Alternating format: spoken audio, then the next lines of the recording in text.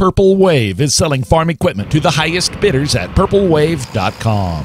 Place your bids on tractors and tillage implements, combines and headers, planters and drills, balers, livestock equipment, trailers, shop tools, and more. Bidding is open now and we'll sell everything without reserves or minimum bids on Wednesday, May 17th, beginning at 10 a.m.